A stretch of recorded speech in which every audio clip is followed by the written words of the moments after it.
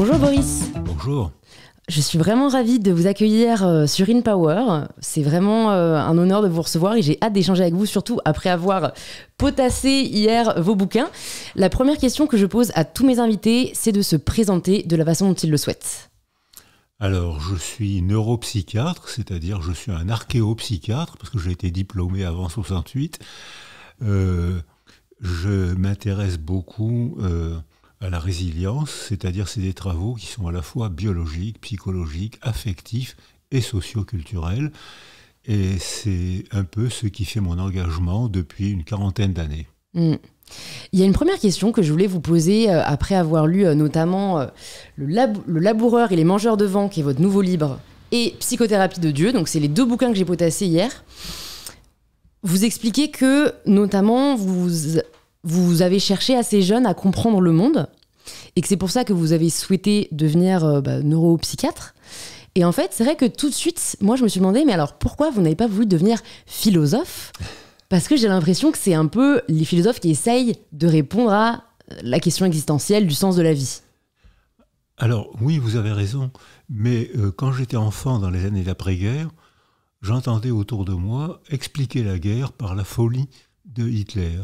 Et je me disais dans mon esprit d'enfant, donc euh, quand je serai grand, je serai psychiatre, je soignerai ces gens-là, et il n'y aura plus jamais de guerre.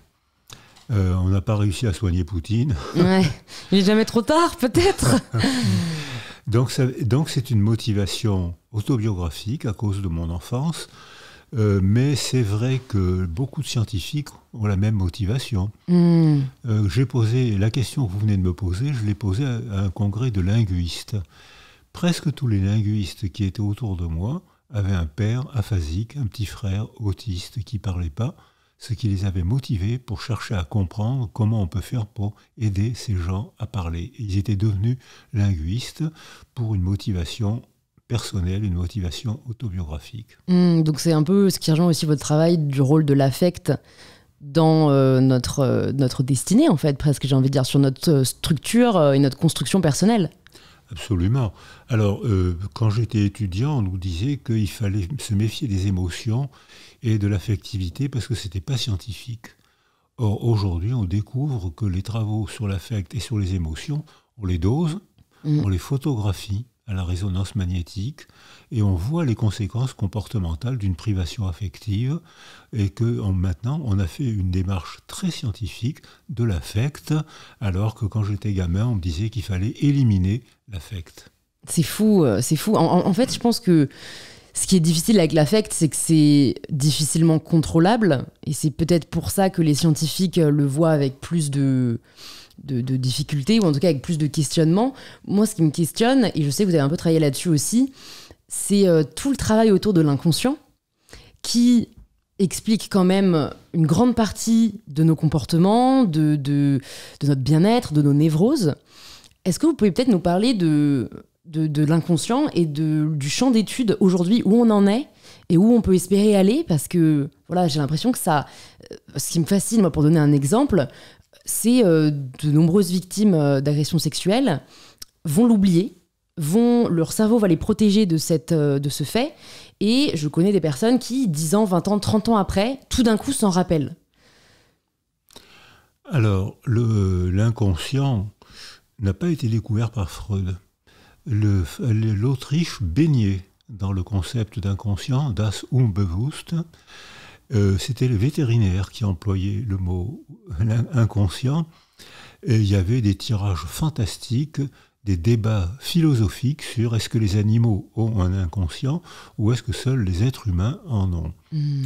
Et quand Freud s'est développé, euh, il a entendu ce concept d'inconscient et il l'a appliqué à la condition humaine où bien sûr il existe.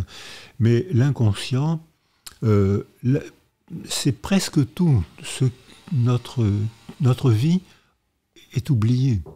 C'est-à-dire, vous avez parlé de l'oubli des personnes agressées, mais c'est la règle. Euh, on ne met presque rien en mémoire. Ce qui fait notre autobiographie, la représentation de soi, notre histoire de vie, c'est quelques éléments Et vous, vous venez de naître, alors vous ne savez pas encore, mais vous verrez quand vous aurez 85 ans, ou 4, que en fait on ne retient presque rien des milliards de milliards d'événements, de mots, de situations qui nous ont entourés, on ne retient presque rien et que ce presque rien nous constitue. Tout le reste est oublié. Alors ce qui est oublié, ça peut être oublié parce qu'il n'y a pas de trace cérébrale, ça peut être oublié parce que comme vous l'avez dit, c'est insupportable de se rappeler. Alors ça, c'est la définition du refoulement. Euh, donc, euh, je pense que ça concerne aussi la condition humaine, que ça, c'est une grande découverte de Freud et des psychanalystes, mais actuellement, on parle beaucoup plus du non-conscient, c'est-à-dire de l'inconscient cognitif. Toute une partie de notre cerveau est circuitée par le milieu et on n'en prend pas du tout conscience. Alors c'est pas l'inconscient freudien comme vous l'avez défini tout à l'heure, c'est un autre inconscient, mmh. mais c'est la caractéristique de la condition humaine d'oublier presque tout de ce qui nous arrive. Mais il faut, il faut, juste l'accepter en fait, hein, je crois. Mais il y a quelque chose dont vous parlez dans notamment euh, Le laboureur et les mangeurs de vent que vous n'avez pas oublié. C'est euh, ce qui s'est passé quand vous aviez 7 ans. Euh, c'est du coup la, déportation d'abord de vos parents et puis ensuite la rafle dont, bah, vous avez été victime. C'est assez. Euh, je vous invite vraiment à lire le livre de Boris parce que bah, vous en parlez très bien dedans et je trouve que c'est vraiment poignant de se rendre compte d'une époque qui commence à être oubliée. On commence à avoir aussi de moins en moins de témoignages. Est-ce que vous pouvez euh, peut-être nous raconter déjà la, prise de conscience que vous avez eue enfant? Je ne sais pas si ça a commencé par le départ de vos parents, mais que en fait vous étiez persona non grata et que en fait là vous, vous utilisez le terme, vous étiez condamné à mort. Oui, c'est ça, j'allais réagir sur persona non grata, j'étais pas grata de tout. J'avais clairement compris que on avait tué ma famille, mes parents, ma famille avait disparu et on voulait me tuer, c'était clairement dit. C'était énoncé, j'avais 6 ans et demi, c'est l'âge où on prend conscience de la mort. Avant, on emploie le mot, mais ça me désigne un jeu. Poum, tu es mort. Et à 6-7 ans, on comprend que c'est quelque chose d'irrémédiable. C'est fini. Alors, donc, j'ai entendu ce mot pour mes parents. Entendu euh, ce mot pour mes parents, je l'ai entendu à la Libération, euh, où j'ai entendu euh, une juste qui m'avait recueilli dire à sa fille "Mais tu ne comprends pas que ils ne reviendront, ses parents ne reviendront jamais." Et là, j'ai dû prendre conscience que je ne reverrai jamais mes parents. mais j'avais Auparavant, j'avais déjà compris que c'était clairement dit, on va les tuer, on va, il, faut les, il faut les tuer. Donc, j'étais pas grata du tout. Hmm. Et donc ça, vous en avez vraiment... Parce que 7 ans, c'est vrai que c'est l'âge, euh, j'ai l'impression, où on commence à avoir des souvenirs, mais il faut que des faits extrêmement marquants euh, et traumatisants comme ce que vous avez vécu pour vraiment vous en souvenir. Enfin, vous racontez notamment euh, l'évasion euh, je crois que c'est dans une synagogue où vous étiez enfermé. Ça, vous vous en souvenez vraiment euh, encore? Alors clairement, parce que euh, vous avez dit tout à l'heure, quand on est traumatisé, on oublie. On oublie tout le temps. Et quand on est traumatisé, on a une forme particulière de mémoire. Le centre de la mémoire, c'est une hypermnésie, le centre de la mémoire traumatique. C'est pour ça qu'il y a des syndromes psychotraumatiques. Je ne pense qu'à ça, je vois, il me pointait ce revolver, j'allais mourir. Donc le centre de l'image est hyper précise. Parce que si je fais un geste de travers, il va me tuer. Le flou, l'entourage est flou. Il n'y a pas de mémoire, parce que ça n'a pas de bénéfice adaptatif. Donc la mémoire traumatique, elle est composée de deux opposés. Un centre hyper précis qui explique le syndrome psychotraumatique et un flou qui n'a pas de fonction et qu'on ne met pas en mémoire. Alors maintenant, pour ce qui est de l'amnésie traumatique, euh, il faut un peu se méfier. C'est que, oui, il y a une amnésie, c'est quand le cerveau est sidéré. Et le cerveau n'est pas tout le temps sidéré. Euh, alors là, quand le cerveau est sidéré, rien n'est engrammé. Mais le cerveau n'est pas tout le temps sidéré. Donc il y a un abus de cette notion de traumatisme oublié. La plupart des traumatismes sont hyper imprégnés, mhm. mais de temps en temps, de rarement, de temps en temps, on tombe effectivement sur une amnésie post-traumatique. D'accord. Je me suis demandé à la lecture euh, du coup de ce livre où vous racontez euh, euh, ce moment traumatisant de votre enfance. C'est, en fait, on avait presque l'impression que c'était un roman parce que en fait, c'est quand même tellement exceptionnel, mais dans le mauvais sens du terme, ce qui vous est arrivé que, enfin personnellement, moi je me demandais, mais qu'est-ce qui s'est passé ensuite? Est-ce que vous pouvez nous dire, euh, si je, me rappelle bien, donc vous avez été euh, caché sous le corps d'une femme qui, a été envoyée à l'hôpital et vous avez réussi de là à vous, vous échapper? Est-ce que vous pouvez nous dire ce qui s'est passé ensuite?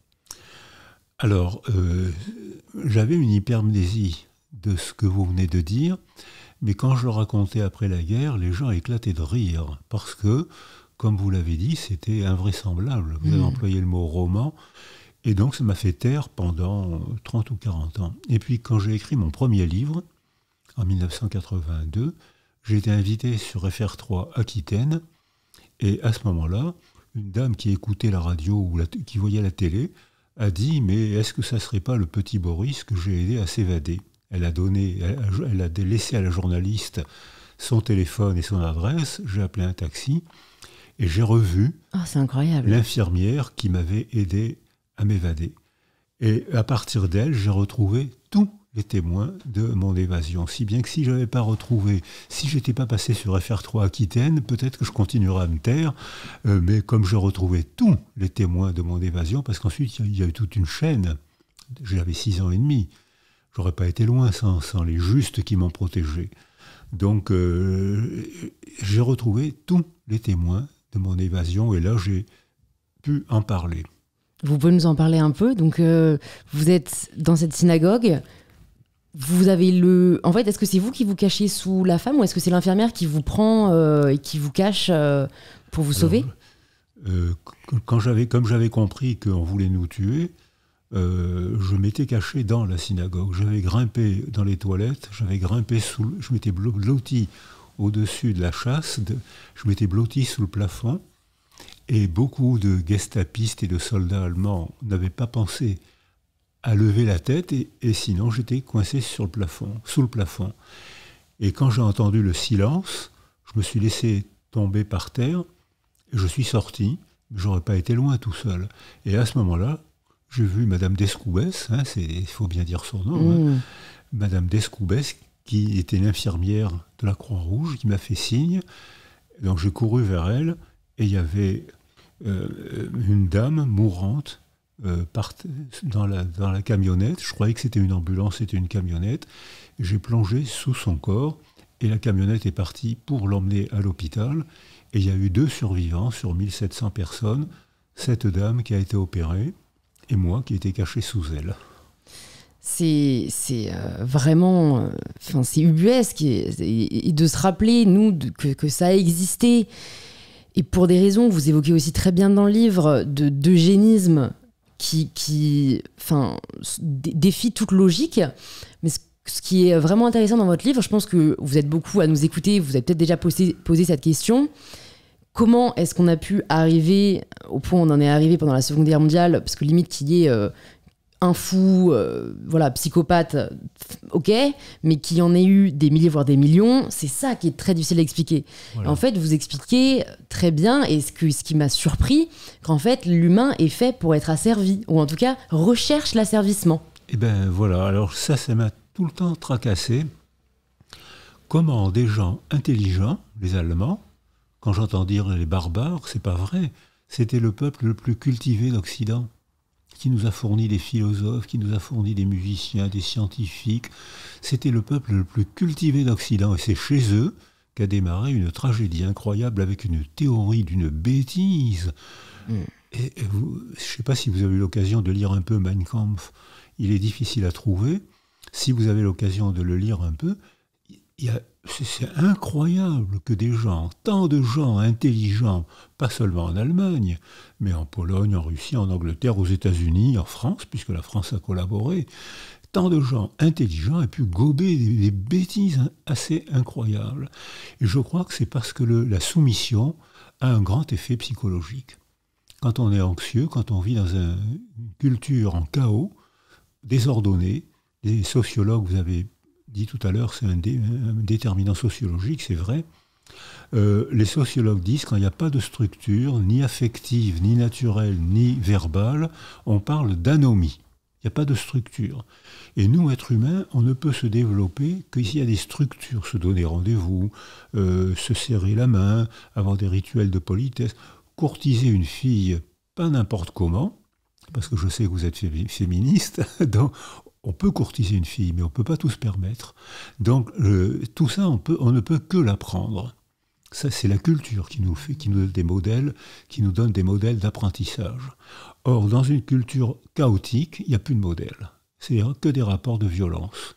Et à ce moment-là, arrive un sauveur, qui est un escroc culturel, qui dit Moi, je sais d'où vient le mal, ça vient des juifs, ça vient des arabes, ça vient des étrangers, ça vient de qui vous voulez.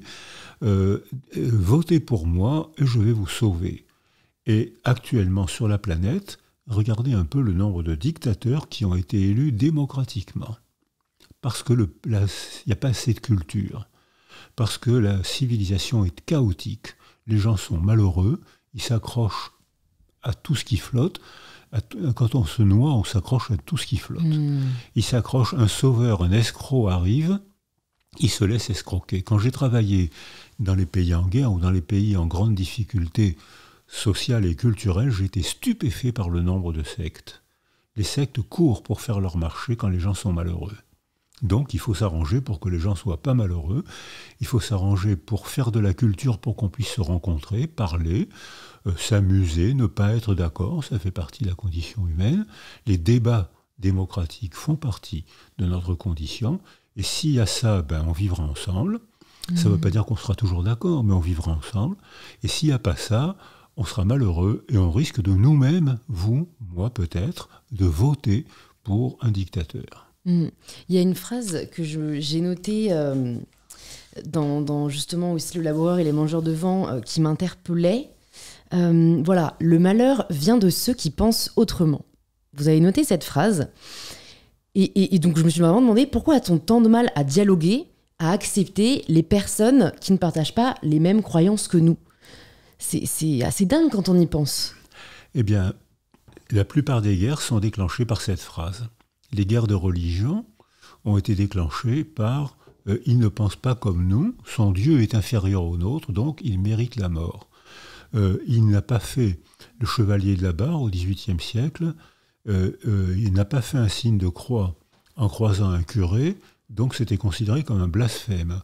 Aujourd'hui, quand vous croisez un curé, vous faites un signe de croix Je souris. donc on n'y pense même plus. Donc il y a un bêtisier du blasphème.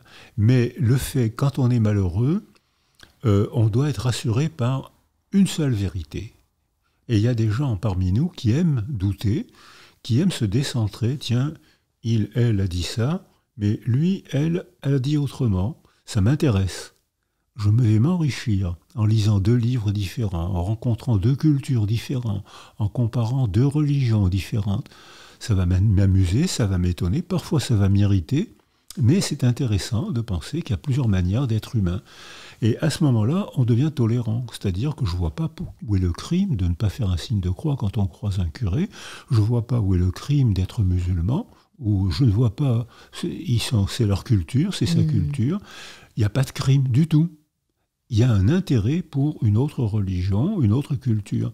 Mais il y a des gens qui ont besoin d'une seule vérité.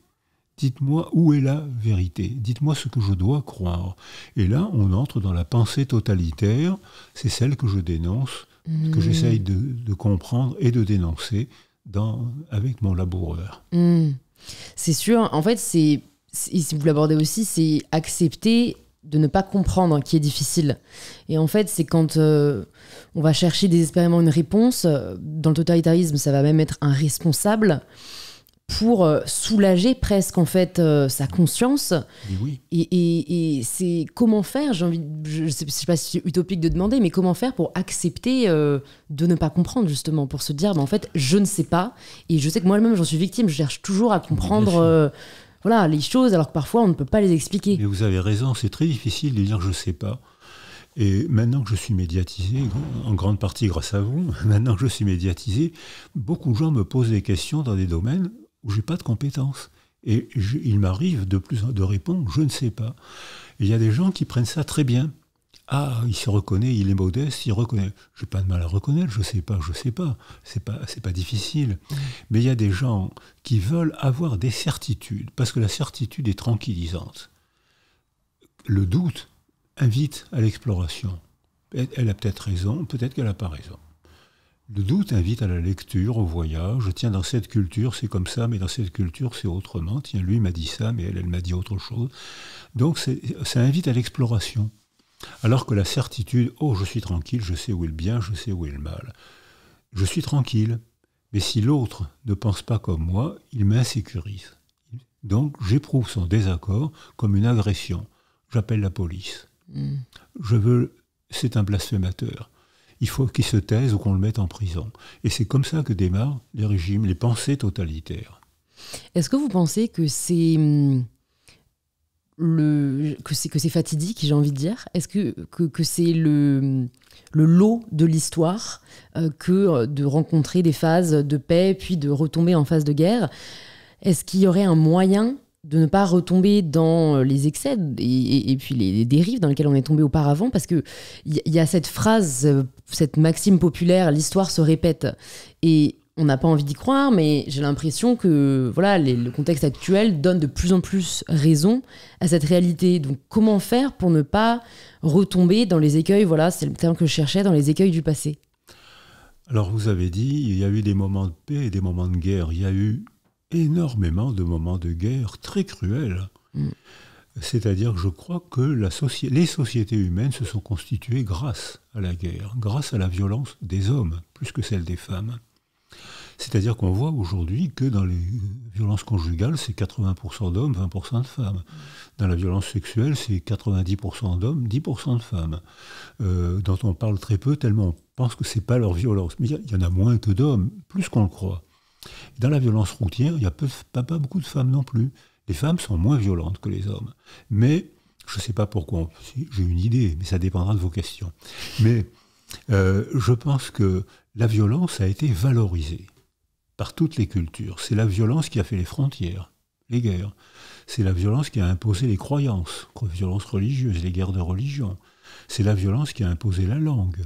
On a massacré les Vendéens, les Basques, pour leur imposer la langue française. Donc la violence a été constituée. C'est pas une idée rare, hein, ça, surprend beaucoup de gens, mais Freud l'avait déjà dit, Lévi-Strauss, les anthropologues l'avaient déjà souligné. Donc c'est une manière d'être humain et de faire de la société qui est tragique. Les rapports de domination ont constitué les sociétés. Et quand ce que vous dites, c'est récent, c'est une ou deux générations où on dit est-ce que vraiment on est obligé de passer par la violence pour constituer des sociétés? Et ça fait seulement une ou deux générations que la violence n'est que destruction. Alors qu'auparavant, elle avait une valeur adaptative pour se défendre contre le pays étranger qui voulait, alors, nous, qui voulait nous coloniser ou nous, détruire même. Hein. Donc il fallait avoir une violence adaptative. Le début de cette violence alors il y, a deux formes de début de violence. Il y a la violence émotionnelle, c'est auquel les garçons sont plus sensibles que les filles, c'est la privation affective. Les garçons, alors là, il y a beaucoup de travaux scientifiques qui montrent que les petits garçons sont beaucoup plus sensibles à la privation affective que les petites filles. Et que c'est donc, étant frustrés, étant inquiets, ils agressent. Alors que les petites filles ont un mécanisme de défense différents. Quand elles sont frustrées, quand elles sont en carence affective, elles trouvent très facilement un substitut affectif, une grand-mère, une nourrice, ou la meilleure, ma meilleure amie. Toutes les, toutes les filles parlent de ma meilleure amie. Et, et c'est bien, parce que ça leur permet d'avoir un tranquillisant relationnel, un tranquillisant humain, je, me sens bien quand ma nourrice est là, je me sens bien, je vais téléphoner à ma meilleure amie, on va aller au restaurant. Donc c'est des mécanismes culturels qui permettent aux filles de mieux se défendre contre la privation affective que les garçons. Et cette violence euh, des garçons, pourquoi est-ce qu'ils sont plus sensibles à la séparation que les filles? Euh, Probablement parce que pour des raisons biologiques, c'est-à-dire que les garçons sont XY, les filles sont XX. C'est-à-dire que si une anomalie est portée par un X, elle, peut ne pas s'exprimer, parce que si l'autre X ne porte pas l'anomalie. Alors que chez un petit garçon, si l'anomalie, une anomalie est portée par un X ou souvent par un Y, qui est un chromosome fragile, ça s'exprime. Et d'ailleurs, en consultation de pédopsychiatrie ou de neuropsychiatrie, il n'y a pratiquement que des petits garçons. Les filles arrivent en consultation après la puberté parce qu'elles deviennent anxieuses alors que les garçons sont un peu trop sur deux, mais donc ça, veut dire qu'il y a un déterminisme ontogénétique, c'est-à-dire une construction, vous avez parlé tout à l'heure de construction sociale, ce qui est indéniable, mais il y a aussi une construction affective, une construction biologique et une construction socio et culturelle, c'est un échafaudage. Et à ce moment-là, on voit que cette manière de se socialiser, les jeunes la posent depuis pas longtemps, ça fait quand même 300 000 ans que monsieur et madame Sapiens sont sur Terre. Alors, et ça fait, on va dire 40 ans, 50 ans qu'on se pose la, question comme vous, venez de le faire. C'est récent. Je croyais que ça allait durer. Poutine me dit que c'est pas vrai. Et Poutine me démontre qu'on retrouve les processus archaïques de socialisation, la violence. Alors les femmes essayent de participer à la violence des hommes. Il y a des femmes qui s'engagent dans les armées. Elles sont moins violentes. J'habite à Toulon. Euh, et dans les, elles sont moins violentes que les hommes. Elles font de bonnes performances dans l'armée, dans les postes de responsabilité, gestion, commandement. Elles font des performances de, plus, de, mieux en mieux, mais pas dans la violence physique. Alors, ça, les femmes sont handicapées par leur manque de violence. mais est-ce qu'on en a vraiment besoin, en fait? C'est ça la question. La question, c'est que jusqu'à maintenant, on en a eu besoin. Euh, il y avait la violence par carence éducative, où euh, on trouve des squelettes avant le néolithique, où on trouve des squelettes au crâne fracassé ou avec des flèches plantées dans la poitrine ou dans le dos. Euh, donc euh, on, a, on, a, fait la violence, on a fait du social par la violence. C'est une idée banale en, anthropologie. Hein. Maintenant, peut-être que c'est plus nécessaire à condition de développer la culture. Ce qu'on fait souvent, mais qu'on ne fait pas toujours, puisqu'il y a des gens encore maintenant, il y a, au Proche-Orient, en Extrême-Orient, aujourd'hui, il y a encore des guerres dont on ne parle pas. Tout à fait. Et qui valorisent la violence. Hein. Hmm. Un homme qui, qui tue des ennemis, il est décoré. En temps de paix, un homme qui tue quelqu'un d'autre, il est emprisonné. Hmm. Donc, donc on voit que le contexte culturel est important et que le meilleur moyen de combattre la violence, c'est d'éduquer les petits garçons et les petites filles, et c'est de faire de la culture pour apprendre à réagir autrement. Et puis, c'est de c'est provoquer des réflexions, comme vous le faites. Grâce à vous, grâce à vous, et, je rebondis sur ce que vous nous dites par rapport euh, à la petite enfance. Euh, et, ce que vous venez de nous dire, euh, j'avais relevé aussi une citation dans le livre, il est désormais prouvé que les privations affectives provoquent des altérations cérébrales. Donc en fait, j'avais envie de rassurer toutes les personnes qui peut-être ont eu une privation affective étant enfant, euh, donc voilà, quand tout ne se passe pas comme prévu, euh, en fait, j'ai deux questions. C'est la première. Déjà, donc oui, quand, tout ne se passe pas comme prévu, euh, quand on est enfant, bah, comment on peut essayer de, devenir résilient, qui est un concept que vous avez beaucoup travaillé, dont on va parler.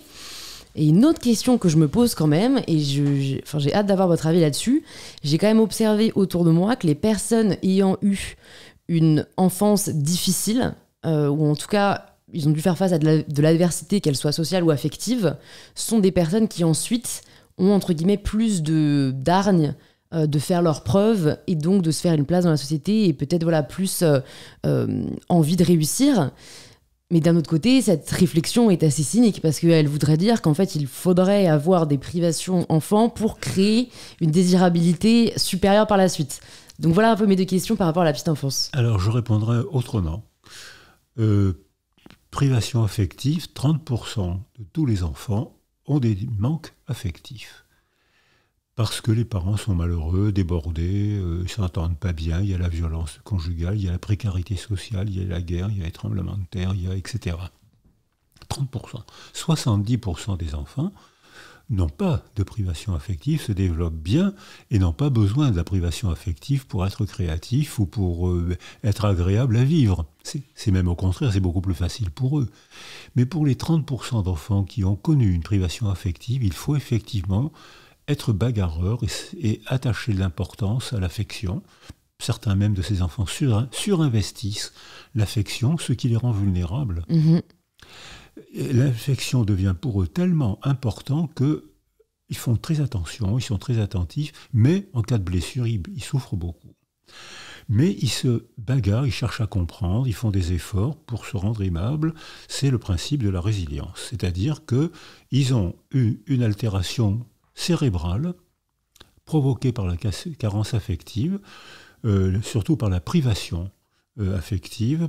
On photographie en résonance magnétique nucléaire, c'est-à-dire les examens du cerveau actuellement, sans anesthésie, sans piqûre, sans rien. On photographie et on voit que un enfant privé de relations affectives a deux lobes préfrontaux atrophiés, le circuit limbique de la mémoire et des émotions atrophiés, et au contraire, il a une hypertrophie de son amygdale rhinencéphalique, qui est le socle neurologique des émotions insupportables. Donc, si on les laisse tout seuls, ça va donner, comme vous l'avez dit, des psychopathes. C'est ce qui se passe dans certains quartiers où les parents sont en difficulté. Dans certains quartiers où il n'y a plus de culture, on voit réapparaître les rapports de violence, qui sont des violences explosives, parce que les garçons, plus que les filles, les filles aussi, mais moins que les garçons, euh, ont, acquis une dysfonction cérébrale provoquée par le malheur des parents. Le traitement, c'est qu'il faut que les parents soient pas malheureux. C'est facile. N'est-ce pas? Donc, euh, Mais il y a une autre forme de violence, c'est celle à laquelle vous m'avez invité de, de, parler tout à l'heure. C'est les gens qui se soumettent à un seul récit pour prendre le pouvoir. Je sais où est la vérité, je vais vous l'imposer. Et ces gens-là, les Allemands, cultivés, pour prendre le pouvoir, vivant dans une culture où le pouvoir était la valeur majoritaire, ces gens-là ont acquis, mais c'est vrai aussi pour les religions, c'est vrai pour l'idéologie, c'est vrai pour les théories économiques. Je sais où est la vérité, je vais vous l'imposer. Et là, on entre, comme on disait tout à l'heure, dans le langage totalitaire. Donc quand les carences affectives sont fréquentes, elles touchent un enfant sur trois, si on fait rien, ils vont souffrir, certains vont se débattre, la plupart vont échouer. Si on les entoure, si on leur donne des conditions culturelles de rencontrer, pour moi le sport fait partie de la culture, hein. de jouer au foot, d'aller au cinéma, de se disputer après un film parce qu'on n'est jamais d'accord, mais on rencontre des gens, on établit des liens affectifs et on voit que les troubles neurologiques disparaissent de mois en mois. C'est-à-dire que la relation fait disparaître la dysfonction cérébrale. C'est vrai pour la vie quotidienne s'il y a de la culture. C'est vrai en psychothérapie si des gens veulent tenter une aventure psychothérapie, mais donc ça veut dire que c'est résiliable. Hmm. C'est une vraie question et je trouve qu'on l'aborde peu au final, euh, la question de la résilience. On est assez laissé, euh, on est assez livré à soi-même après une épreuve euh, difficile. Comment vous l'avez personnellement vécu et si méthode il y a, est-ce que vous avez remarqué des, des comportements euh, qui peuvent être utiles, voilà, que ce soit après euh, la, mort d'un proche, que ce soit après euh, une épreuve particulièrement difficile. comment est-ce qu'on peut se relever du mieux qu'on peut? Donc c'est par la culture, si je comprends bien. est-ce qu'il y a... L'affection et la culture. L'affection et la culture. Ok. Et est-ce que c'est comme ça que vous l'avez ressenti aussi bah, après, après, vous étiez orphelin en fait à, à 7 ans, quoi? Alors j'étais orphelin, j'avais réussi à échapper à la mort et je ne pouvais pas en parler parce que les gens riaient. C'est la définition du déni, ce qui n'est pas le refoulement. Vous m'avez invité à parler du refoulement tout à l'heure. Là, c'est le déni, c'est autre chose. Hein. Je sais que ça a existé, mais c'est pas important, c'est pas grave. Hein. C'est pas être orphelin, c'est pas grave. Alors, euh, il y a des gens pendant au 19e siècle, on disait que les, orphelins euh, étaient, euh, il fallait pas s'en occuper. J'ai entendu ça il y a quelques années dans les pays arabes, où il ne faut pas s'occuper des enfants nés hors famille, ou des enfants orphelins. Donc ça veut dire que là, il y a, on a eu des discussions, des désaccords. Avec les psychologues et les médecins, on était totalement d'accord, mais assez paradoxalement, avec les juristes, mmh. on avait des désaccords. On leur disait il faut s'occuper de ces enfants, et les juristes, la majorité des femmes, euh, nous disaient non, non, ce sont des enfants du péché, il ne faut pas s'en occuper. Et nous, on leur disait, mais si vous vous en occupez pas quand ils sont enfants, si vous les éduquez pas, vous allez vous en occuper quand ils seront adolescents. Euh, ils deviendront délinquants, il y aura une majorité de garçons. Donc c'est n'est pas un bon placement. Et on sait maintenant que plus on s'occupe de la petite enfance, moins on a besoin de s'occuper de plus tard. Hmm. Les Norvégiens ont même fait un calcul un peu cynique, et pourtant je crois qu'il est vrai, c'est que un dollar consacré à la toute petite enfance, c'est 8 dollars économisés à l'adolescence. Donc c'est un, investissement, comme vous l'avez voilà, c'est un investissement. C'est cynique, mais je, je crois que c'est vrai. Alors, ça veut, ça veut dire aussi que il faut débattre, il faut s'expliquer, il faut avoir des preuves. Il ne faut pas parler en l'air, il ne faut pas avoir une vérité contre une autre. Mhm. Il faut argumenter. Et pour argumenter, il faut développer une démarche scientifique et philosophique. Anna Arendt, qui, qui m'a beaucoup inspiré pour ce livre, Anna Arendt donne des tas de... de- pas de- elle ne donne pas de conseils, mais elle explique comment on peut, en prenant confiance en soi, on peut finir par ne pas se laisser embarquer dans un délire collectif. Le nazisme, pour moi, c'est un délire collectif. Mhm. Et beaucoup de gens intelligents se sont laissés, en, en France aussi, hein, la France a collaboré, donc, mais ce sont, parce qu'ils ont perdu leur accès au jugement intérieur. C'est, ça, la- l'obéissance apporte tellement de bénéfices, on sait où est la vérité, on n'a pas besoin de faire d'efforts, il suffit de suivre. C'est, c'est très gai, les régimes totalitaires, il y avait une très- mon souvenir d'enfant pendant la Seconde Guerre mondiale, c'était une très grande gaieté. Les restaurants étaient pleins, les théâtres étaient pleins, les femmes s'habillaient au maximum pour les, elles faisaient la fête. C'était une très grande gaieté. Les autres souffraient en cachette, mouraient en cachette. La, mo- la mort était honteuse, la souffrance était honteuse. On retrouve ça aujourd'hui chez les femmes agressées sexuellement. Elles, elles ont honte parce que c'est pas une image belle d'elles-mêmes qu'elles donnent. Elles vont difficilement au commissariat. Mhm. Donc, parce que c'est une image, c'est une image triste d'elle-même. Et hein. souvent, on remet leur question, leur, leur euh, réalité en doute. Donc, euh, Voilà, tu as dû le provoquer. mhm. Euh, mais c'est moins en- c'est encore vrai, mais beaucoup moins qu'il y a une génération où c'était la règle. hein. Maintenant, c'est encore vrai, mais beaucoup moins. Donc ça veut dire que quand on est chassé de la société, c'est difficile d'en parler, sauf le détour de l'œuvre d'art. Ce que je ne peux pas te dire parce que ça me donne une émotion trop forte, et parce que j'ai peur que tu ne me crois pas, ou parce que j'ai peur de te faire du mal si tu es ma fille. J'ai peur de te faire du mal en racontant ce qui m'est arrivé. Voilà le père à qui c'est arrivé. Je me tais. Et, euh, mais je peux en parler. Va voir ce film, lis ce livre, et on en parlera. Et la fille très rapidement comprend que le comédien, c'est mon porte-parole. Que le Mhm. héros du roman, le roman met en roman imagination mon œil, il met en imagination ce qui m'est arrivé. Et là, l'émotion est maîtrisée, Parce on maîtrise et on ouais. peut en parler. C'est pour ça d'ailleurs que les traumatisés parlent en souriant de leur trauma avec leurs petits-enfants, alors qu'ils ne peuvent pas en parler avec leurs enfants. Parce que les petits-enfants, c'est délicieux d'être grand-père ou grand-mère. Ça, ça vaut aussi pour euh, délicieux d'être petite, d'être une petite fille. Moi, j'adore mes, mes grands-parents. C'est vrai que c'est un lien euh, particulier. J'ai l'impression qu'on a que les avantages et pas les Mais- inconvénients. Mais bien sûr. mais bien sûr. On a, ils viennent, ils font, on fait la fête, on se dit des mots d'amour, c'est délicieux. Et parce qu'on les, on les voit que pour faire la fête. Ouais. On les voit que pour. Donc c'est un cadeau qu'on leur fait, c'est un cadeau qu'ils nous font. Mais c'est pas le cas avec nos enfants. Nos enfants vivent avec nous au moment où on a des difficultés. On est chômeur, on est renvoyé, on est malade, etc. Et nos enfants baignent dans un appauvrissement affectif parce que les parents sont moins disponibles. C'est pas la faute des parents. Les parents sont moins disponibles parce que il y a eu un accident, il y a eu, ils s'entendent pas, parce que, etc. Du coup, ils sont moins vifs, moins gentils, moins sécurisants pour leurs enfants. Alors que pour les petits enfants, on se donne rendez-vous pour se faire des déclarations d'amour et pour faire la fête. Hmm, c'est vrai que c'est quand même plus sympa. Est-ce que vous avez eu conscience de tout ça quand vous avez eu euh, vos enfants? Et comment, je pense, voilà, peut-être à des parents qui nous écoutent, euh, comment faire pour euh, dépasser la peur de ne pas bien faire je pense qu'il y a beaucoup de parents, jeunes parents, qui, qui, voilà, ont peur de transmettre des traumatismes qu'eux-mêmes ont peut-être vécu ou voilà, de, de, de mal réussir une partie de leur éducation. Est-ce que vous auriez un conseil à leur partager? Non, je fais, comme, je fais faire comme ma copine Anna, Anna Arendt. Un, j'ai pas de conseils, mais j'ai des explications à proposer. Les gens décideront, ils choisiront, ils décideront. Euh, je pense que euh, la, la plupart des traumas sont difficiles à dire.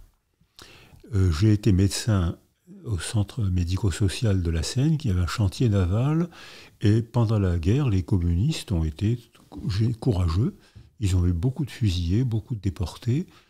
Euh, et à la libération, ils ont décidé de manifester. Et eux, ils se sont battus. Ils se sont manifestés pour dire voilà, j'ai été à Auschwitz, voilà ce que j'ai vu. Je suis un des rares. Il y avait 27 000 survivants sur presque un million de gens envoyés. Je fais, voilà ce que j'ai vu, je tiens à en témoigner. J'ai soigné tous leurs enfants. Parce que, en disant leur trauma, ils avaient transmis l'horreur, planté l'horreur dans l'âme de leurs enfants. Donc, il faut se taire. Mais si on se tait, on n'a pas un père, une mère entier. Papa, que j'aime beaucoup, il parle, il rigole, il joue au foot, et puis tout d'un coup, Papa, qu'est-ce qui s'est passé pendant la guerre? De quel pays tu viens? Pourquoi est-ce que tu as ça? Papa se tait. Son silence m'angoisse. Son silence me révèle le lieu de sa souffrance qui ne veut pas me dire qu'est-ce qu'il me cache. J'ai peur, j'ai une angoisse. Donc c'est pas facile parce que si on parle, on transmet l'horreur du trauma, et si on se tait, on transmet la non-représentation, le vide, l'angoisse. Alors ce que je comprends pas, c'est pourquoi, quand on va exprimer le traumatisme qu'on a vécu, ce que je pensais être assez salvateur, au final on se retrouve à le transmettre à nos enfants, alors que quand on dit rien, on ne le transmet pas, alors qu'on l'a vécu dans les deux cas. Non, non, quand on ne dit rien, on transmet l'angoisse. D'accord. Quand on parle, on transmet l'horreur, ça veut dire qu'on ne peut pas parler n'importe comment ça veut dire que euh, on peut pas. J'ai eu des tas de patients, le père a parlé, et ils m'ont, ces patients, leurs les enfants de ces hommes traumatisés, les enfants m'ont dit j'ai commencé mon syndrome psychodramatique le soir même, tellement ils avaient vécu dans l'horreur du père. Parce que, alors maintenant, parce que notre culture a changé et que maintenant les traumatisés sont invités à parler. Parce qu'on sait, moi si j'ai pas parlé pendant 40 ans, c'est parce qu'il y avait un déni collectif. C'est parce que la culture ne me croyait pas. C'était tellement énorme, ce qui est arrivé était énorme, mon évasion était tellement rocambolesque qu'on ne me croyait pas. Donc je me suis dit, autant se taire. Et puis je risquais ma vie aussi. Si j'avais parlé pendant la guerre, je risquais la mort. Donc la culture ayant changé, la culture disant, euh, à ce moment-là, on invite les, blessés à la parole, soit en public, soit mais c'est soit en psychothérapie, mais c'est pas obligatoire, les gens choisissent. Hein. Et ah, notre culture a changé, et là maintenant, on, on, entend la parole des victimes, alors que pendant des millénaires, la victime, c'était la vaincue. L'homme victime, c'était le vaincu. Mhm. La femme agressée sexuellement, tant pis pour elle. C'était, on, a fait des millénaires comme ça. La responsabilité doit changer de camp. C'est ce que disent les féministes, mais je crois que ça ne marchera pas parce que les pervers ne sont jamais coupables. Les pervers vivent dans un monde où il n'y a pas d'altérité. Donc pour eux, une agression sexuelle, je me suis bien marré. Oui, mais tu as vu l'état dans lesquels... Ah oui, mais moi j'ai passé un bon quart d'heure. Le propre de la perversion, c'est qu'il n'y a pas d'autre, il n'y a pas d'altérité. Donc je pense que ça ne changera pas de camp. Si, si on arrive à faire changer la honte de camp, parce que, comme vous le dites très bien, aujourd'hui, pour beaucoup de femmes, c'est les femmes qui vont ressentir la honte de cette fête agressée, alors que c'est en aucun cas de leur faute. Parce qu'on a tendance encore à considérer aussi avec honte des femmes qui vont être agressées. Alors aujourd'hui, je pense que c'est quand même plus le cas aussi pour les agresseurs. On a vraiment honte et, ils sont montrés du doigt. On l'a vu avec MeToo. Mais je pense que si on arrive vraiment dans une société, où les femmes arrivent à ne plus avoir honte de ce qui leur est arrivé et, au contraire à transférer cette honte là où elle vient, peut-être que ça fera réfléchir à, deux fois, vu qu'apparemment ils ne réfléchissent pas, ces hommes qui agressent, parce que, comme vous l'avez dit aussi, euh, dans le schéma de la virilité, euh, la honte ne, fait pas non plus euh, bon ménage, dans le sens où ils ne veulent pas avoir cette image d'eux-mêmes. Aujourd'hui, cette image ne les dérange pas parce qu'ils se le voient comme euh, quelqu'un, je sais pas, de profiteur ou comme un playboy. Si on arrive à leur faire voir la réalité de qui ils sont en commettant ces agressions, après, voilà, c'est peut-être aussi. ça, ça, arrive, mais c'est rare. Hein. Freud, les psychanalystes disent il faut culpabiliser les pervers. Alors là, ils ont honte, là, ils reconnaissent, mais ça arrive. C'est rare. Moi, je commence que plutôt que de punir, plutôt que de faire honte, je crois qu'il faut éduquer et développer la culture. Éduquer les petits garçons les, petits, et les petites filles, leur apprendre à s'exprimer autrement que par des cris ou par la violence. C'est une Mm. question d'éducation où l'affectivité joue un grand rôle et c'est une question de culture. Le cinéma doit montrer le monde intime d'une femme euh, agressée de façon à ce que euh, il y a des femmes qui, qui, sont qui agressent sexuellement. J'ai eu à accompagner des femmes pédophiles des mères incestueuses.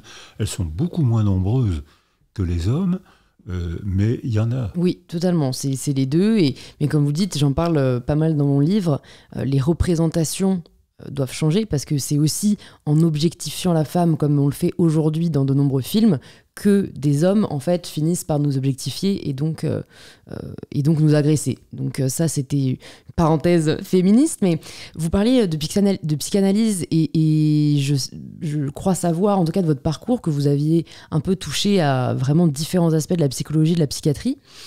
Et j'ai l'impression qu'aujourd'hui, on remet pas mal en question euh, la psychanalyse, qu'il y a beaucoup de nouvelles formes de thérapie qui naissent, euh, la psychothérapie, les thérapies comportementales, tout ça.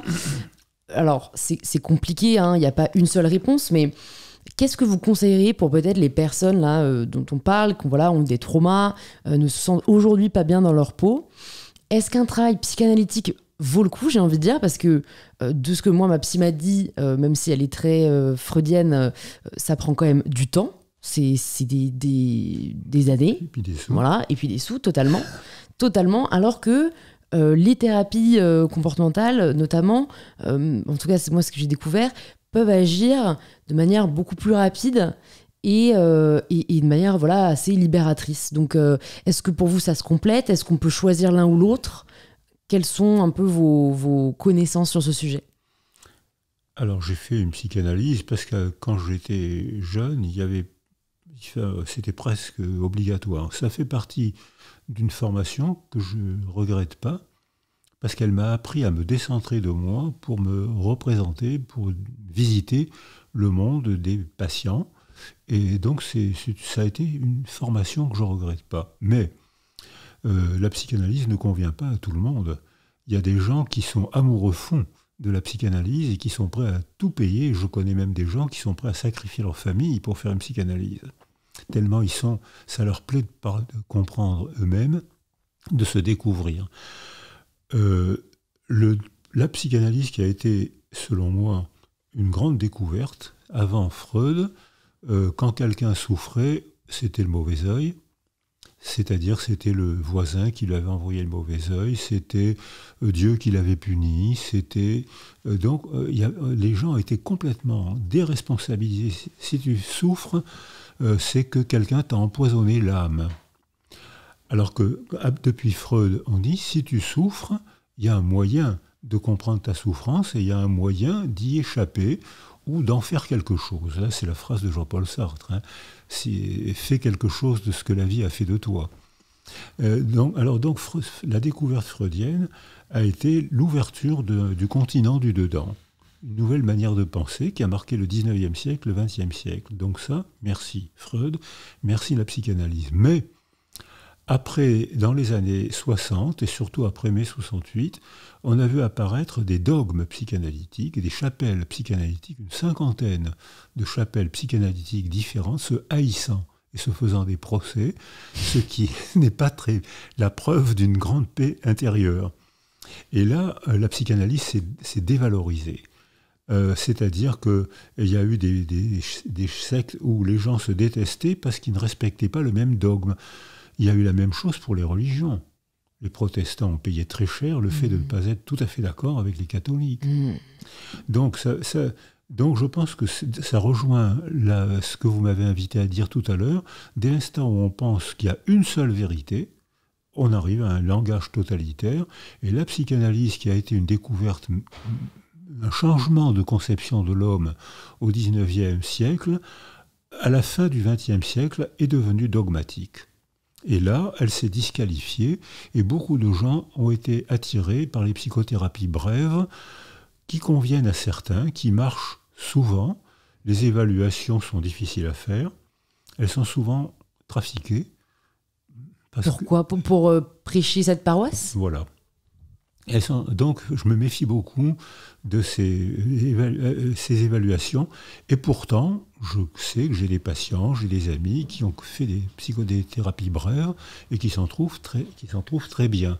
Mais si notre culture redevient chaotique, on va, on va voir, depuis le virus, on a vu apparaître des psychothérapies sectaires. Depuis le virus, en deux mmh. ans. En deux ans, on a vu apparaître une. D'abord, il ne faut pas oublier qu'on a évalué actuellement en France, il y a 415 formes différentes de psychothérapie. Ah, quand même. Quand même. Alors, euh, schématiquement, merci Freud pour avoir découvert la psychanalyse. Ça convient à certains, bravo, tant mieux pour eux. Ça convient pas à tout le monde. Il faut trouver d'autres modes de prise en charge. Mais je retrouve la, la réponse que je vous ai faite tout à l'heure c'est quand même la sécurité affective, les relations amicales, familiales mm. au quotidien et une réflexion culturelle provoquée par le cinéma, la littérature, la philosophie. Pour moi, la meilleure prévention, c'est ces deux domaines-là. Mm. Quand vous avez travaillé euh, à l'hôpital, enfin dans des hôpitaux, vous côtoyez quel, quel type de, de personnes, quel type de troubles? Bah, ça, dépend. D'abord, j'ai d'abord été interne en neurochirurgie parce que euh, les tumeurs cérébrales, les atrophies, les blessures cérébrales donnent des troubles psychiques fondés sur la neurologie. La syphilis, qui est une méningite avec une sorte de bave comme du pu qui se répand sur les méninges, donne des troubles psychiques. Depuis que la pénicilline, en cinq semaines, ces troubles psychiques disparaissent qui va en conclure qu'il faut soigner la schizophrénie avec de la pénicilline.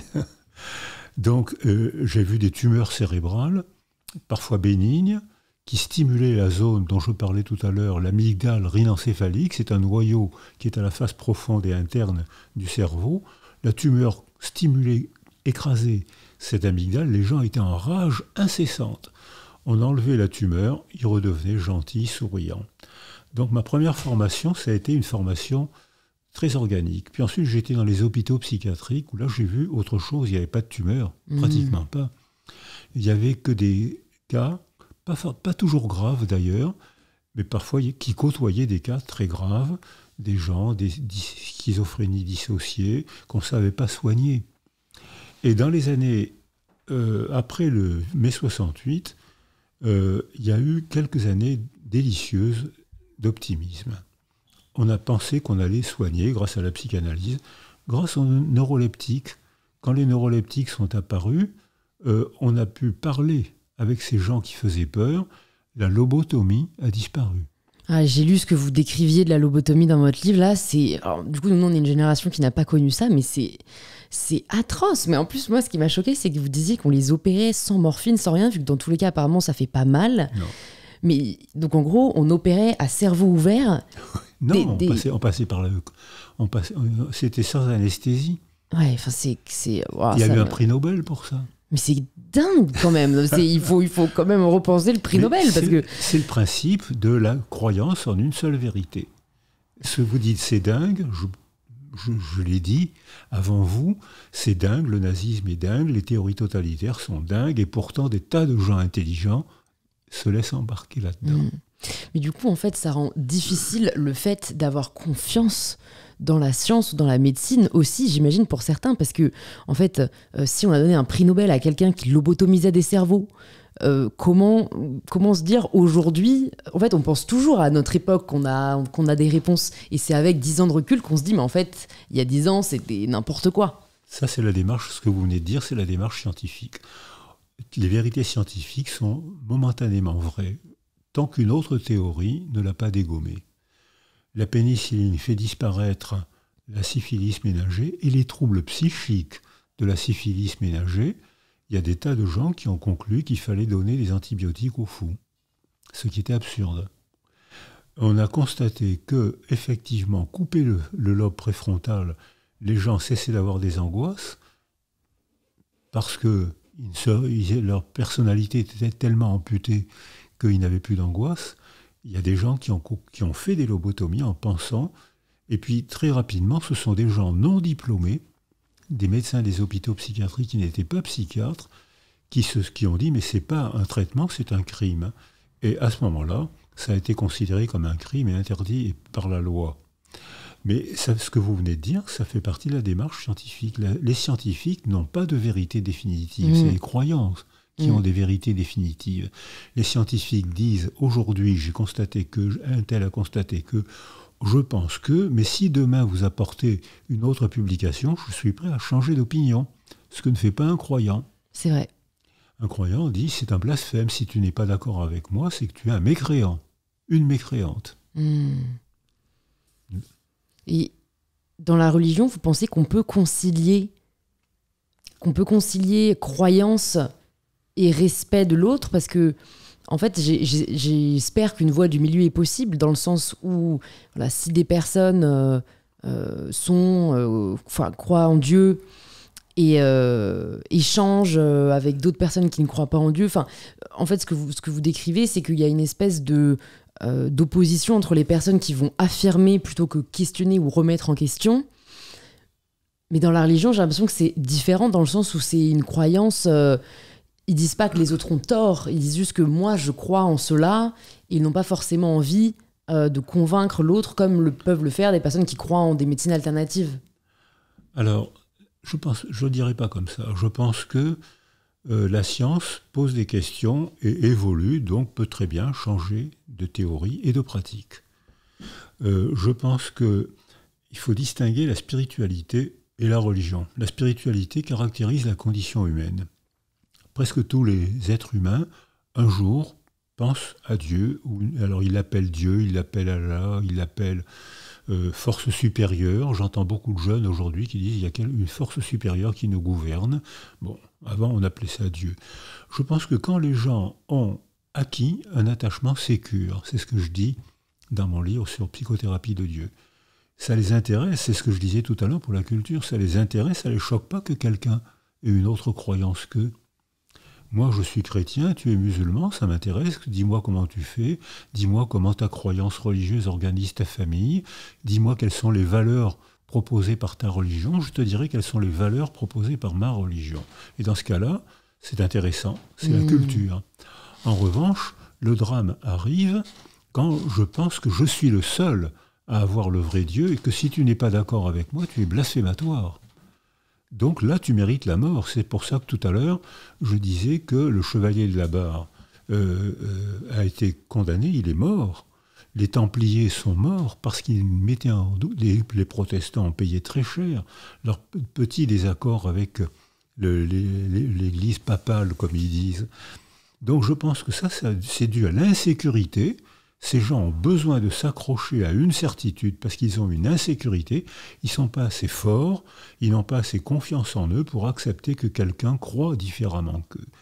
Si les gens sont confiants, paisibles, pourquoi mm. pas fréquenter un musulman, un juif, un bouddhiste, un bachibouzouk mm. Pourquoi pas? Ça m'intéresse, ça m'étonne, ça m'intéresse. Mais pour ça, il faut que j'ai une paix intérieure. Si je suis anxieux, si je suis en incertitude, je vais me raccrocher et dans ce cas-là, je risque de devenir totalitaire. Donc confiance en soi et ouverture d'esprit sont corrélées. Mais oui. Comme notre amie Anna Arendt dit très bien que euh, il faut si les enfants se développent bien, euh, ce qui est le cas de 70% des enfants dans notre culture, mais attention, mm. euh, dans une culture en guerre, 40%, euh, 30 à 40, selon l'atrocité de la guerre, 30 ou 40% des enfants seulement se développent bien. Dans notre culture en paix, 5% des enfants ont des attachements confus. C'est-à-dire on ne comprend pas, et c'est des enfants difficiles, on ne les comprend pas, euh, on n'arrive pas, comme disent les parents, je ne comprends pas, j'arrive pas à le lire. Il m'agresse quand je veux l'embrasser, je ne comprends pas. Euh, donc, donc 5% dans, une, dans, une, culture en guerre, c'est 25 à 30%. Donc le contexte culturel joue un rôle énorme dans le développement individuel. Mm-hmm. Donc si on veut qu'il y ait de moins en moins de gens qui, totalitaire, il faut améliorer la culture, il faut qu'on joue à découvrir d'autres religions, d'autres mmh. cultures, d'autres philosophies. Et j'emploie volontairement le mot jouer pour que c'est amusant, c'est agréable, c'est étonnant. Et à ce moment-là, on apprendra à nos enfants l'ouverture d'esprit qui, qui, ne mène pas à la guerre. Mais si parmi les enfants malheureux ou la certitude totalitaire joue un rôle tranquillisant, mais c'est un rôle tragique puisque ça mène à l'intolérance de celui, celle qui ne pense pas comme moi. En fait, plus je fais euh, des podcasts en ce moment, plus je me dis qu'il y a un, vrai problème de priorité de la part de nos gouvernements, pas juste en France, mais, mais en Occident de manière générale, enfin même à l'international d'ailleurs, parce, parce qu'en fait, ce que vous dites, c'est essentiel, remettre de la culture et, ne serait-ce que du, soin aussi euh, à, l'enfance, à l'éducation. Et, je l'associe du coup, cet enjeu culturel, à l'enjeu climatique, dont j'ai déjà pas mal parlé dans d'autres épisodes, mais qui sont au final non rentables immédiatement et qui du coup ne sont pas la priorité de, des personnes qui nous gouvernent. Parce que l'économie est au cœur de notre politique au sens large du terme, euh, la gestion de la cité. Et, ça, c'est très difficile, je trouve, d'en avoir conscience. On est de plus en plus en avoir conscience. Et pourtant, on se sent très impuissant face à, cette, euh, face à ce constat.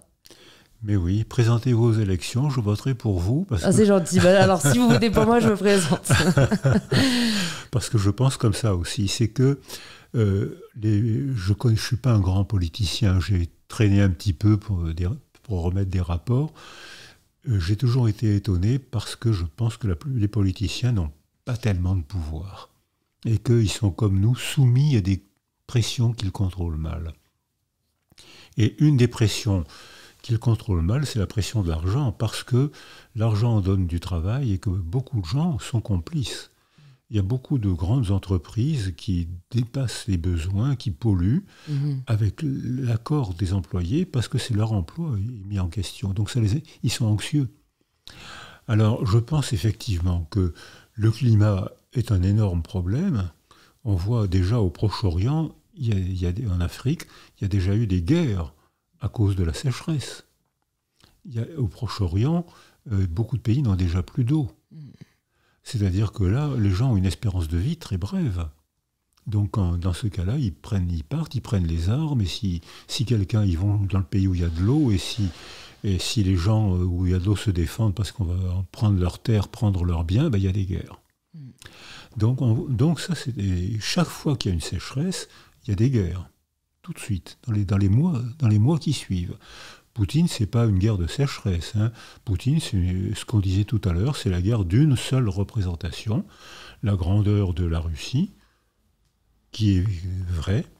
La, culture russe a été est encore magnifique. Il y a des gens, des créateurs que j'admire, que j'aime beaucoup, qui ont embelli notre culture, comme les Allemands d'ailleurs. Hein. Il y a mhm. beaucoup d'Allemands qui ont embelli. On en a profité. Mais euh, actuellement, c'est un régime totalitaire veut imposer sa loi pour des raisons économiques, comme les grandes entreprises internationales, mondiales, veulent imposer leurs lois pour gagner plus d'argent, quel que soit le prix que ça coûte aux autres. Hmm. Et là, effectivement, il y a un problème, c'est que, mais là, il faudrait demander à les politiciens, sont, c'est difficile pour eux, parce qu'ils sont obligés de négocier entre des, des forces très grandes, supérieures même aux forces d'État, et ils sont obligés de négocier entre l'entreprise qui crée des emplois et l'entreprise qui détruit des êtres, humains, des êtres humains. Mais les entreprises sont en train de changer. Elles sont contraintes de changer parce que les personnes qui achètent leurs produits commencent à se plaindre. voilà. Et puis surtout parce que les rapports de hiérarchie, les rapports de domination qui ont fait la culture humaine dans tous les pays, dans toutes les cultures jusqu'à maintenant, maintenant c'est c'est plus accepté.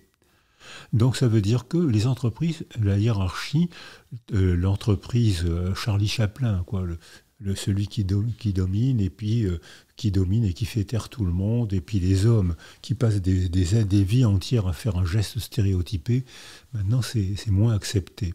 Donc les entreprises, par bonheur, sont en train d'évoluer et maintenant elles attachent beaucoup d'importance au bien-être des employés, et il y a des tas d'aménagements qui fait que même ça, l'industrie va changer. Mais peut-être qu'on la payera plus cher aussi. Hmm. Et puis surtout, on voit que les jeunes, là, sont en train de préparer une réforme, une, révolution culturelle. C'est que nous, on considérait que en haut euh, de, la hiérarchie des valeurs, il y avait euh, faire une famille et euh, avoir un métier. Et de plus en plus de jeunes aujourd'hui pensent que faire une famille, c'est trop coûteux. Beaucoup de jeunes. Ou alors c'est trop risqué. Moi j'ai fait un sondage récemment sur Instagram. J'ai demandé à ma communauté, euh, bon, je suis majoritairement suivie par des femmes, si elles souhaitaient avoir des enfants ou non. Et il y avait à peu près 65% de oui et 35% de non ou de je ne sais pas. Mais c'était euh, pour beaucoup euh, lié à la question climatique et à la question de, en fait, je ne vais pas faire des enfants si c'est pour laisser, enfin, si c'est pour leur laisser un monde avec l'incertitude qu'on connaît aujourd'hui, quoi. Alors il y a cet argument incontestable euh, il y a 10% des femmes qui décident de ne jamais mettre au monde d'enfants parce que c'est un poids, une entrave sociale. Même si on améliore les conditions, ce qu'on a proposé à la commission des 1000 jours, c'est d'améliorer la condition des femmes enceintes, garder leur emploi, le congé paternité pour qu'elles ne soient pas seules. Mm. Parce que la, les dépressions périnatales augmentent beaucoup parce mm. que les femmes sont seules. Elles sont seules avec un tyran domestique adoré qu'on appelle un bébé. C'est-à-dire, donc, euh, ça augmente, ça explique l'augmentation des dépressions périnatales. On sait ce qu'il faut faire lutter contre la solitude. Qui va lutter contre la solitude? Le mari, le père, la famille, la culture, les copains. C'est pas toujours le cas. Et beaucoup de donc, il euh, y a, et puis surtout, on voit que de plus en plus de jeunes décident de ne pas tout consacrer à la réussite professionnelle beaucoup de jeunes disent mais moi je vais me contenter de très peu. Euh, même aux États-Unis, on voit qu'il y a un décrochage des jeunes qui ne veulent plus, comme leur père, travailler 16 heures par jour et ne, pas. Le chef de famille napoléonien, 1804, Napoléon. Du Code civil. Code civil nomme les hommes chefs de famille. Et les femmes soumises à leur mari. Voilà.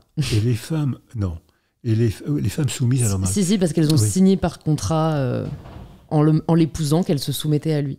Obéir. Mm. Donc, euh, mais les hommes chefs de famille n'étaient jamais dans leur famille. C'est les femmes qui faisaient tout. C'est les femmes qui géraient les familles. Et beaucoup de femmes n'étaient pas malheureuses de faire ça. Tout à fait. Donc, ça, donc la culture est en train de changer. Mais le prix du fonctionnement de la famille, c'était que les hommes travaillaient 15 heures par jour et que les femmes ne pouvaient pas devenir des personnes.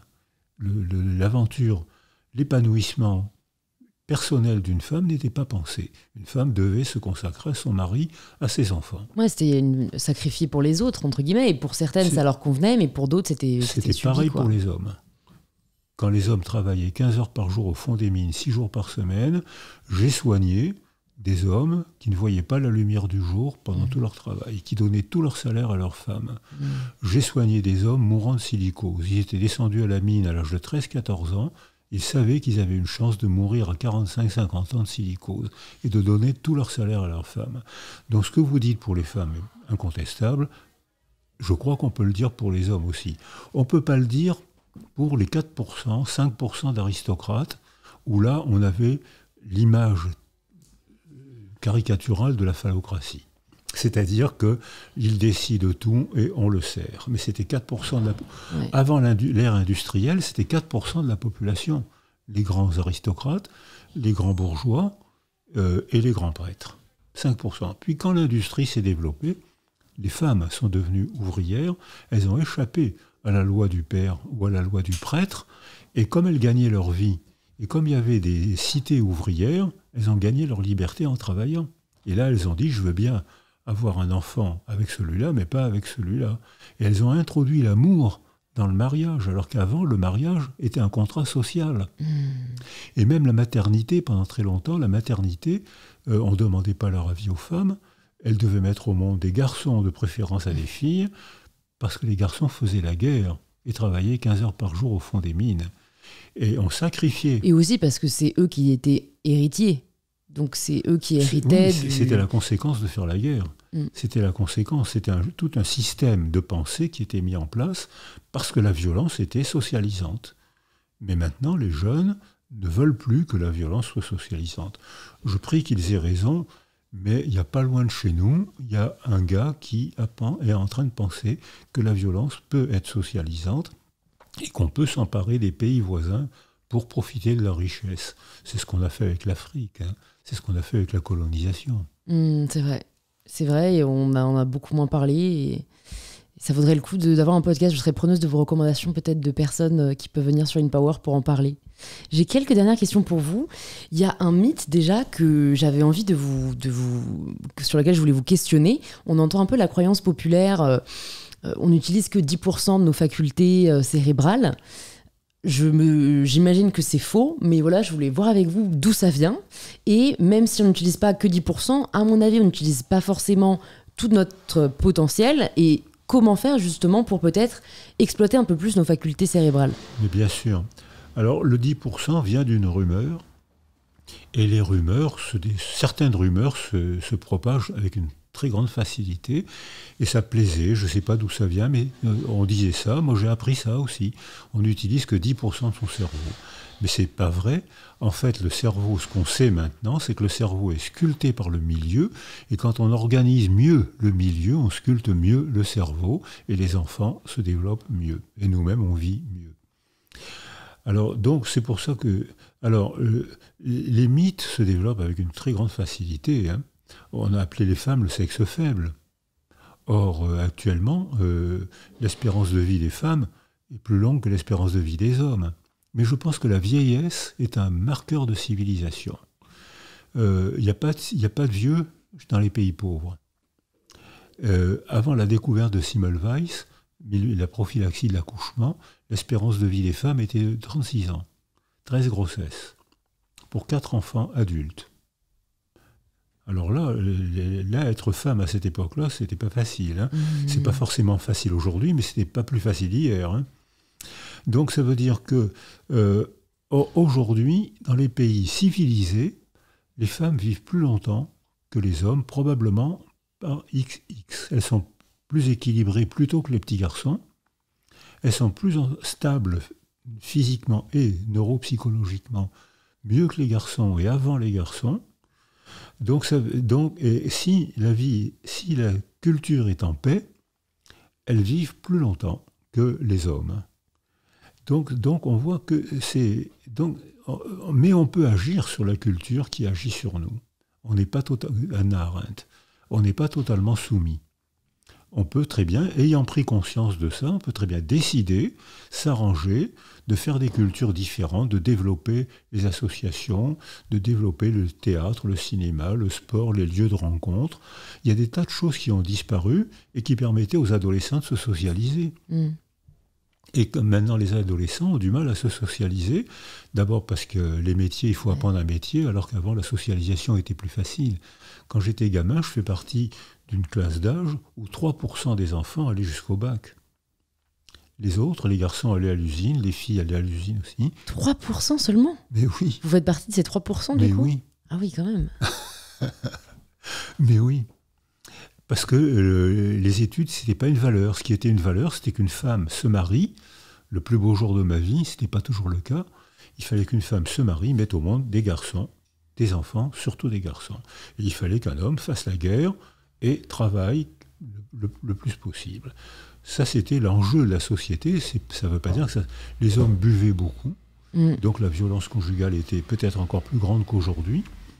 Mais euh, les hommes buvaient beaucoup parce que les conditions de travail, parce que la guerre, surtout 14-18, avait permis à, un monsieur professeur Pinard, qui est un professeur de pédiatrie, il avait constaté que quand on faisait donner du vin aux soldats, ils n'avaient pas de diarrhée, alors que les Allemands qui buvaient de l'eau avaient des diarrhées et du choléra. De là devient le nom euh, le Pinard euh, pour le vin Voilà. Et le professeur Pinard était un pédiatre à l'hôpital Necker, il y a encore sa statue. et donc, et, puis Pasteur disait le vin est une bonne boisson. Comparé à l'eau souillée, il n'y a pas de doute, c'était meilleur que de boire de l'eau croupie hmm. ou de l'eau avec du choléra, comme on le voit réapparaître actuellement dans les pays pauvres. Donc le pinard a été valorisé.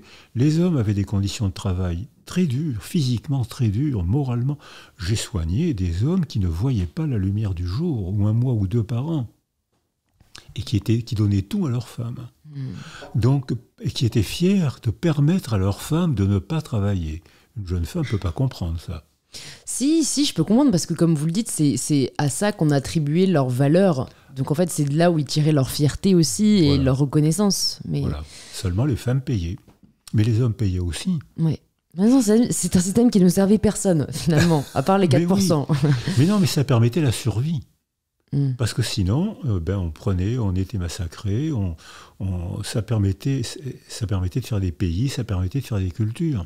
Ce qui n'est plus le cas aujourd'hui. Enfin, je croyais, j'espérais que ça serait plus le cas aujourd'hui. Hmm. N'empêche que on a fabriqué des sociétés grâce à la violence et on a payé tous très cher. Hmm.